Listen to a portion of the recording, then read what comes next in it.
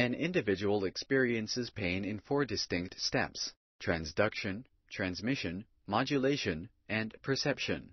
Specialized sensory nerve cells called primary afferent nociceptors detect harmful or potentially harmful stimuli.